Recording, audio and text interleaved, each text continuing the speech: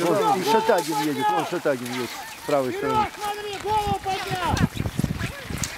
Сказал, да что проще, говорит, Маркову, да, по перемену, а не говорит, ну, блядь, да какая проблема в я не понимаю, да, смотри, вон он, пыжится, сейчас еще и подтягивает.